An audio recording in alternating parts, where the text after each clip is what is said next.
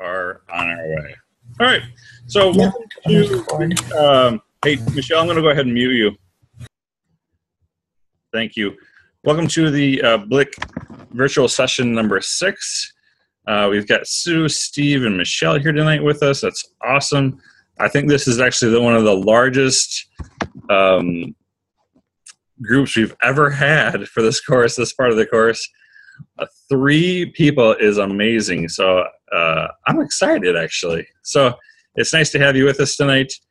Um, if you're like me and you're a big hockey uh, buff, which I'm not a super hockey buff, but the Red Wings are in the background. So if you see me jump up or something, maybe because I scored because they're losing right now. So, anyways, um, I'll try to keep my my focus on the course tonight.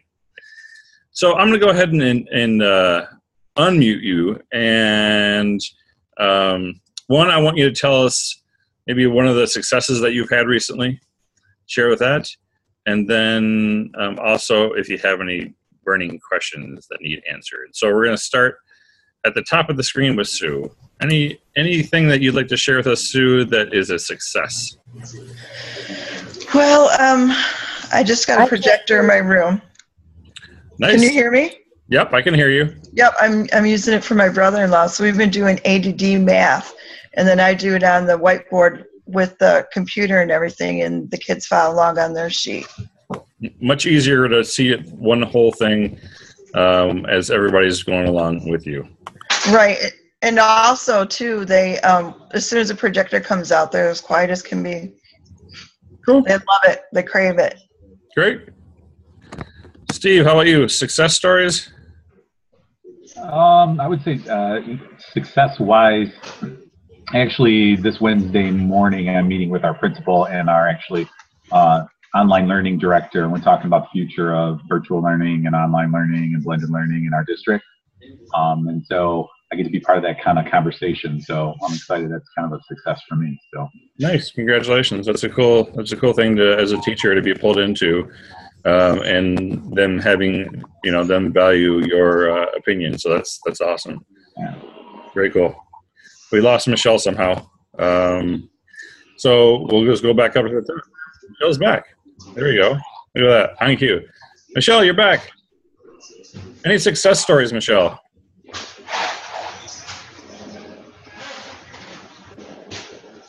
I'm going to go ahead and unmute her. Hello. Hey, Michelle. Any somehow the muting in your any success stories, Michelle?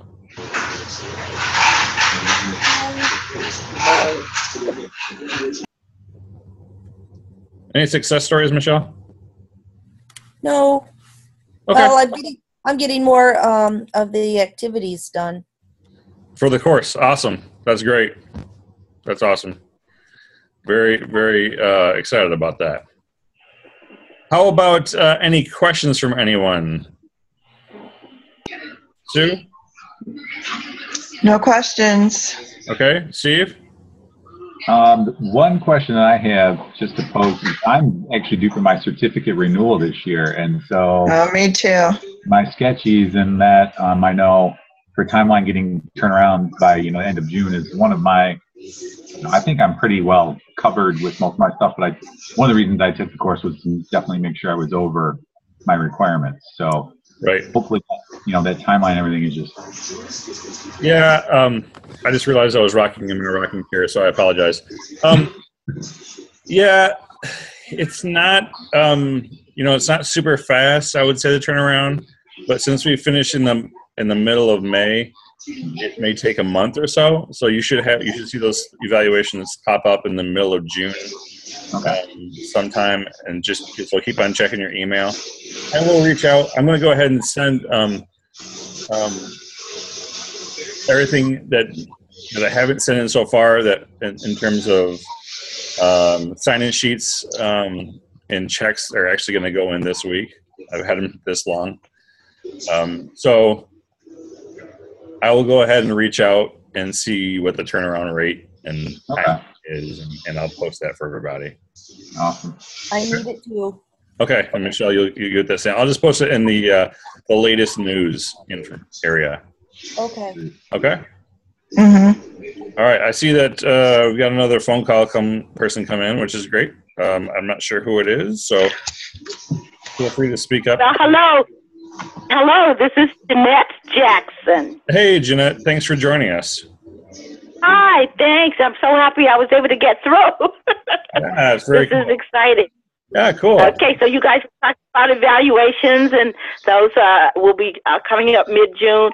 Was there anything before that that I missed? Uh, I don't think so. We were just sharing any celebrations. Anything you'd like to share with us? Um,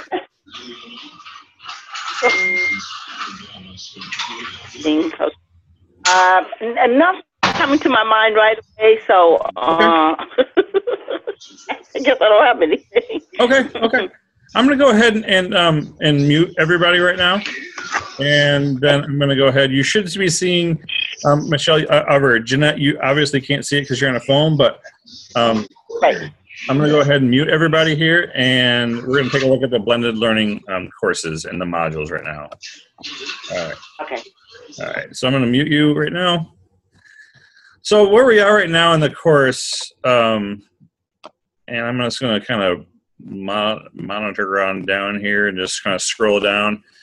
Um, I know a lot of you have just started to kind of get into like module five and module six a little bit. Module seven is open on assessment. I know a couple of you have started that. I know I think Steve has started that, and maybe Jeanette. Um,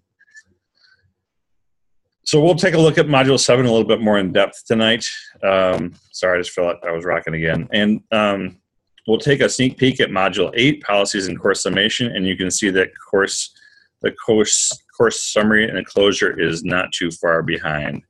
Um, you won't have topic 11 and 12 in your course, I don't believe. And if you do, it doesn't mean anything because we're not going there. So I also wanted to point out where we are in the calendar. So hopefully you can see my calendar here, and this is the BLIC calendar. Um, here's today. Here's our BLIC virtual session number six.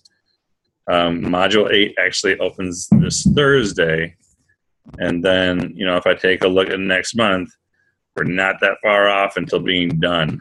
Um, so here's today, and then all the coursework is due. So that module eight and that closure almost has to be tied together. That closure is not very long. It won't take you very long to do um, but it is one little tiny little piece of a module. Um, it's not a full blown module at all, um, but it does have to be done before um, the 15th, and all coursework is due on the 15th. That means you need to be finished with everything. Um, I'll go through a little bit tonight about to how to go back and check things to make sure everything is right.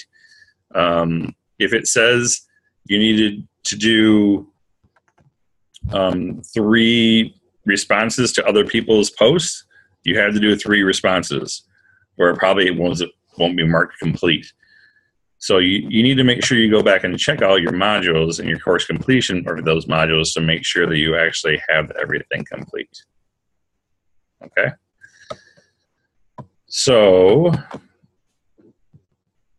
I'm going to go ahead and unmute you again just in case you have questions about that. All right. Anybody have a question about that? Uh, Jerry, just in response to the, uh, the previous virtual sessions, um, I kind of was remiss on my checking my emails and looking at the quizzes and those sorts of things there because I didn't see a way to get that those were checked as complete.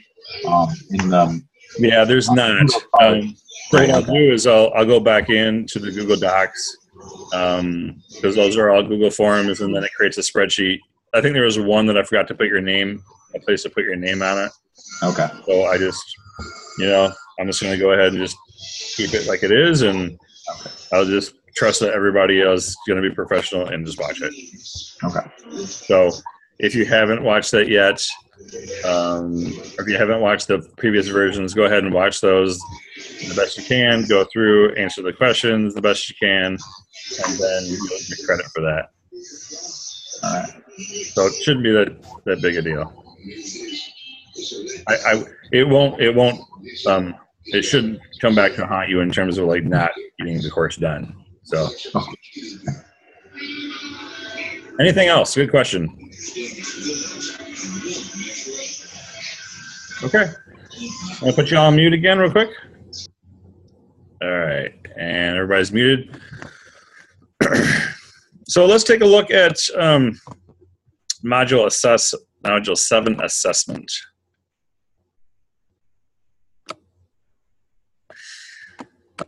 So module assess, uh, excuse me, module seven assessment. Um, it goes through the different types of assessment. Um, I do like this one called online strengths and in-person assessment strengths. So basically, what it's just asking you is it's one of those um, glossary items in, in, in Moodle, and go back and review the standards in sections G, H, and I, and just kind of go through those things um, in terms of the standards, and then you need two separate entries in order to share two uh, assessment standards you would feel that are an online strength. So identify the, the standard and then why you think that standard would be a strength in the online environment for you. Um, so don't put two of your of the of the uh, entries into one because I'm going to have to have you go back and redo that. I know somebody did that, and I I made a comment. I can't remember who it was. I'm not going to point it out right now, but um, just make sure you go through that and just follow the directions. It has to be done the way it's done for it to get marked complete. Then the same thing would go for the in-person assessment strengths. Let that come up here. And again, GH and I, uh, review those standards and then go through two separate entries in order to share two assessment standards you would feel that would be a, strength in your face-to-face. So make sure you include the letter. So like standard H, I feel strongly that this would be a good one in person. Um, if you've already done this and you didn't include the letter, just go back and make a comment in your own post um, and just add that to it. It's not that big a deal, but I want to make sure you're following what it's asking you to follow. And I think that's the biggest thing. If it says that you know you need to create two separate entries, then you have to create two, two separate entries. I didn't create the course, but um, I have to follow the guidelines. So it is what it is. Um, there's a whole issue, or a whole, uh, not issue, but a whole section on uh, formative assessment. And then it has a discussion board here in Module 7 about formative assessment and Web 2.0.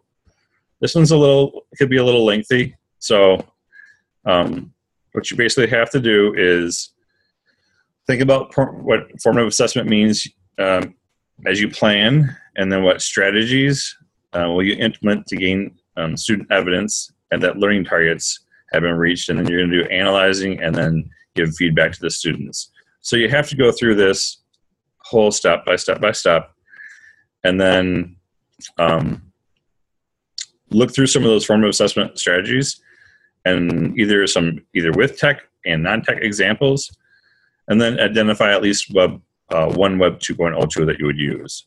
So I'm not sure anybody has started this one yet, and they haven't. Uh, I'm wondering if I'm going to have to redo this. Looks like to me because it's not. Uh, you can reply right here. Yeah, yours should be fine. The more I look at it, yeah, it's, it's fine.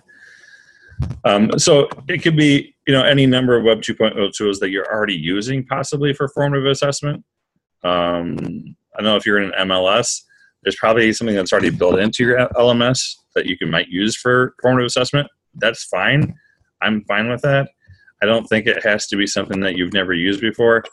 Um, but at the same time, if it's something that um, you'd like to use and to try out with students, that would be a great uh, idea to do that.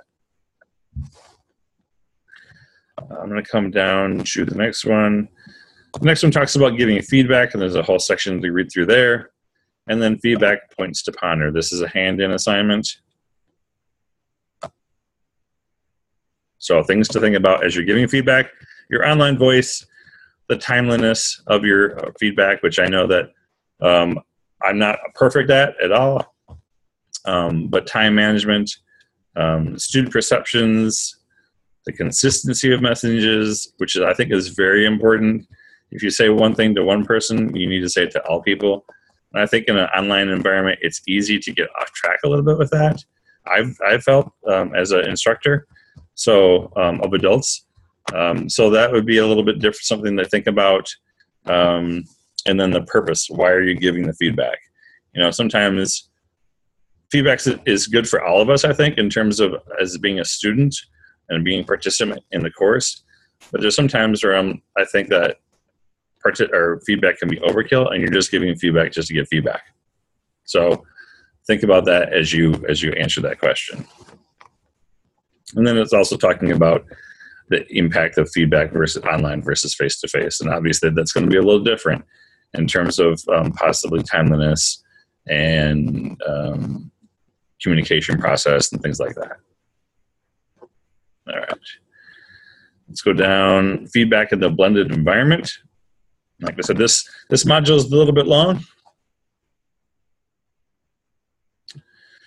And in this one, um, basically for this activity, submit an assessment activity that the students will be participating either online or in the classroom, followed by several varying strategies for providing feedback. Make sure you include at least two in-person strategies and two online strategies. So again, an assessment activity, uh, multiple strategies, at least two in-person strategies, and two online strategies. Whether you don't you you've um, gone through that or not, um, you need to make sure that you include those. Um, so it could be something that you're you're going to only do online, but make sure you also include two in-person strategies. So they even give you some examples. So create a word cloud to summarize all the, con- the contributed thoughts online or in class. So you do a Wordle or a Tagxedo. Um, so there's your online. That, that would be an online piece. Um, have a student provide a summary of the conversation either online or class. So the student would go back and actually summarize what was talked about in class. So that's a real quick formative assessment tool. Like an exit ticket would be a formative assessment tool. You can do an exit ticket, um, you know, online. Really, you could, or you could do that um, in person. I mean, if you think about it, our virtual sessions that are that are recorded, and I give you that little tiny, you know, quiz or little formative assessment tool. That's basically what I'm using. So Google Form is a formative assessment tool. So there's another one for you. So there's a number of different ways you can do that. Um, and an exit ticket out the door is that they have to, you know, give you one of the strategies that was worked on today and how they're going to use that in their in their learning as they walk out the door. So there's a there's a in person, a face to face. So I think this is the the biggest thing about this one is to make sure that you do two in person strategies and two online strategies. I think that's where pe- most people get um, caught up on that one because they forget that I need two of each. They just think I can just do two of one, kind of the other. So there's no or there. There's an and. So that is feedback in the blended environment. And that's a glossary item. Uh, let me go back real quick just to remind myself. Um, and that's not, you don't have to respond to anybody. It's a fairly long one, so that's kind of nice. Once you get your entry done, you are done with that piece. Mm, there's a whole piece on summative assessments. And there's this great discussion on the SBAC practice and training test. So, seeing that, um, I mean, I'm guessing most of you are, are in MSTEP land or at least close to it or have knowledge of that. Um, I'm actually pretty okay if we change this up a little bit. So, where you ever see the word SBAC, you can insert for yourself MSTEP that's fine with me. I'm not going to change it on the screen for you, but I'm fine with that. Um, and I think if if you go to the practice test, and I'll post those in, in here that the MSTEP practice test, just in case that you aren't giving the MSTEP yourself, just so that you can go through those if you haven't gone through as a staff uh, member at your school. But think of all these things that, that come up in the uh, the MSTEP, or if you want to go through the SBAC, that's fine. And so to be complete with this, you need to post at least one idea and reply to at least two ideas presented in our class. So um, consider your experience. Put in the context of your students taking the test. How can we ensure that their test taking experience is assessing their content knowledge? well, that should be an interesting discussion.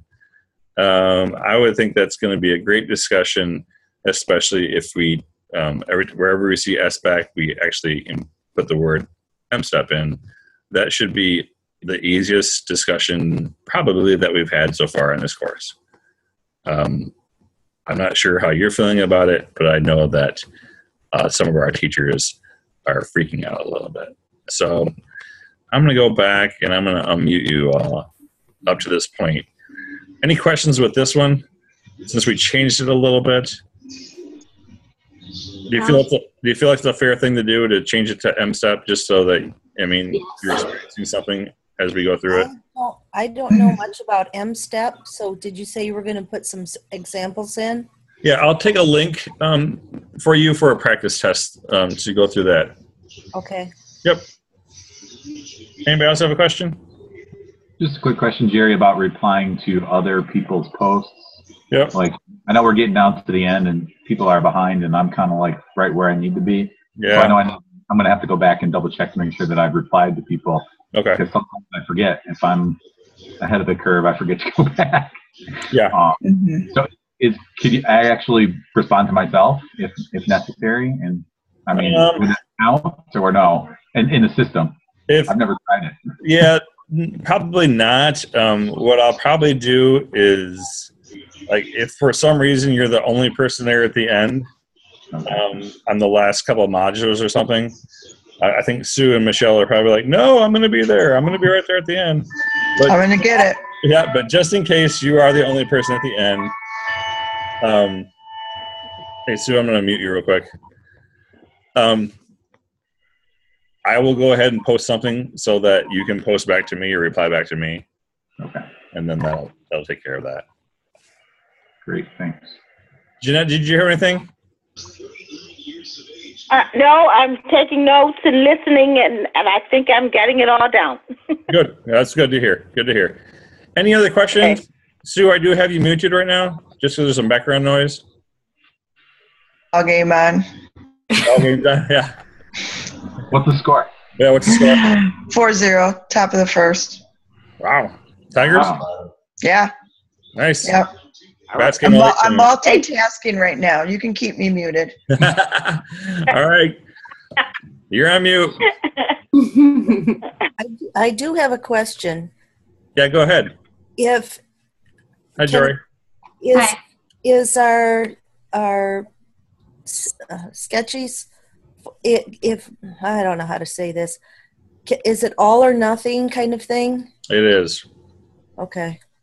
It is, unfortunately. Yeah. I had somebody uh, from our high school actually go through it in the fall with me. And she's like, you know, I did so much work. You know, I, I finished through module five. Do I get any SCECHs for that? And I'm sorry, I don't, I don't control that. But I mean, I wish I could say, yeah, sure, you get SCECHs, but unfortunately, it's all or nothing. Okay. Okay. So keep plugging away. Keep plugging away. We don't really have that much longer, so it's important to keep plugging away.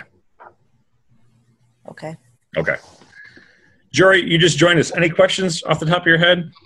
Nope, none that I can think of. All right, I'm going to go ahead and, and mute you all again, and we're going to continue on. I'll be coming back. All right. So, again, the SBAC practice and training test, just for Jory, if you missed that piece, wherever you see SBAC, you can input the word uh, M-STEP and then try to answer it from an M-STEP perspective. Okay? This course was actually, um, this piece of the course was actually designed before MSTEP actually was even a thought, I think. So, all right, the next piece uh, to look at is an activity designing a comprehensive assessment plan. All right, there are three parts to this activity. One, provide a detailed overview of the unit that you're going to do.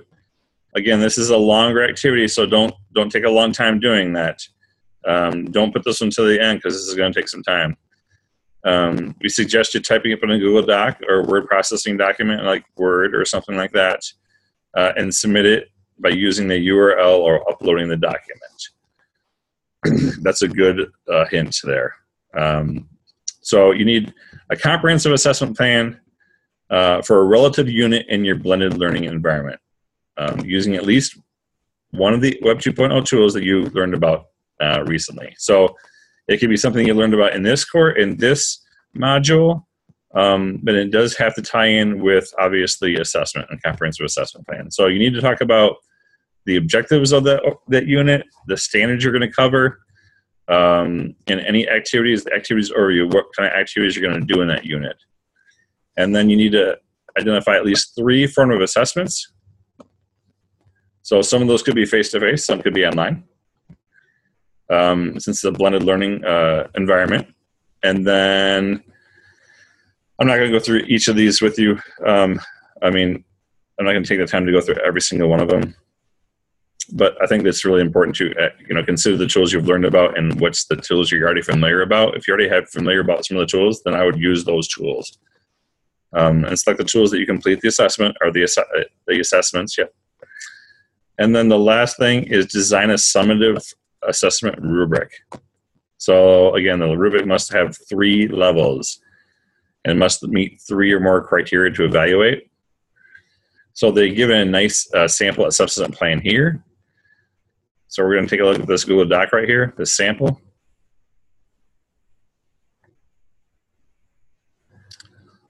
So you notice that you've got, you know, just a breakdown.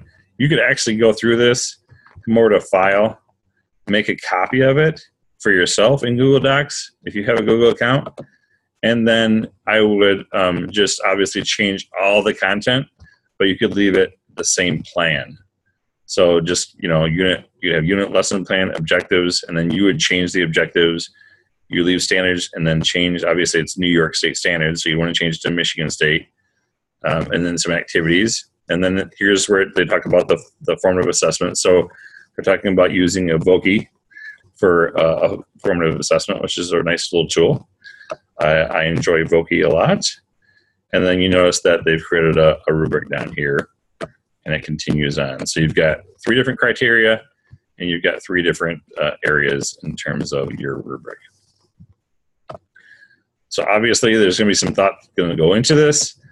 I would not make it just to make it. I would actually do it that's going to, you can use this later on. Um, I think it's just a waste of time to go through this and just build it just to get the coursework done. I would do it so with something that you're actually going to put into action um, either this school year. I know we're coming to a close here pretty soon, but or maybe next fall, um, something that you can get started with in your blended learning course. So that is a longer assignment. All right, I'm going to go ahead and take you off mute real quick just to make sure there's anybody that needs to ask any questions.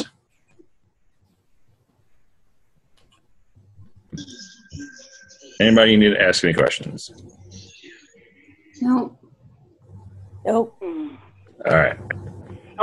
There's one one thing uh, as I'm writing my notes and I'm not in front of my screen, but you said um, as we, we can change, you know, to the use to Michigan uh, state standards, blah, blah blah. And then you said you can use a, and I didn't get the word you said. Was something like Voki or something like Voki, that? Yeah, Voki, V O K I. You'll see that in the um, the sample activity. And Voki is a nice Okay. little tool where you can record your voice or your kids' voices with like an avatar. Yeah, it's a pretty cool tool. All right. All thank 10 minutes left uh, of the of the actual um, online course because of the fact that we got started a little late. So we only have about 10 minutes left. So I want to go through and um, give you a sneak peek of the next module. Okay. All right. I'm going to mute everybody here real quick. We're going to come back here. The next couple things you'll do in Module 7 is you've done this before. Uh, do your tracking form, add your pieces to Module 7, and then go through the assessment reflection piece for Module 7. In Module 8, policies and course um, summation. In this one, um, you've got um, in an introduction, you've got talking about using a syllabus or a learning plan in your course. Uh, many of you may already have something like that, especially if you're a secondary teacher. Um, there's a discussion board of what a blended learning syllabus might look like. Uh, there's an introduction to the standard K for standards. You can take a look at that one real quick in terms of a, a discussion board. So this is all about um, the standards for quality online teaching standard K and talking about standards K is different from the other standards. and it's about how you use and manage media and content. So basically, instructional design skills. Um, and then you go through the whole. You'll have to read through the standard K, and then answer the questions. You know, which ability did you choose? What are some time-saving strategies to accomplish these types of tasks, etc. And what is a resource or a specific website you would recommend for someone struggling with that ability? So that's a, a new standard you haven't seen yet. Um, in the last piece here, and then you go ahead and reply to that. And then there's a standards reflection piece.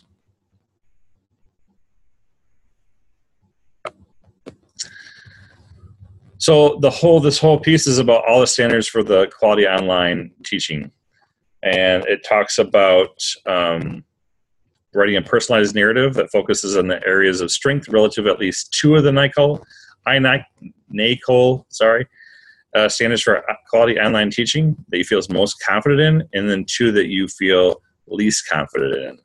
Um, and then support your reflection with specific examples that are related to the standards. So that's not a, has an activity resources. All the standards are right here for you. So if you forgot about, you know, going back to the original standards uh, location, you can just go right here and find your activity resources. Then you've got um, adjusting your syllabus. There's a hand in there. I'm going to skip down to, um, there's your tracking form update, but I'm going to skip down to BLIC Portfolio. So for the final project, for the course, you're to create a multimedia presentation in the manner of your choice. So you can do a Prezi, a video, a YouTube video, a digital story. I've seen people do um, like a Google slide presentation. Um, and you need to include these things. Several screenshots or pictures demonstrating your use of blended learning in your environment.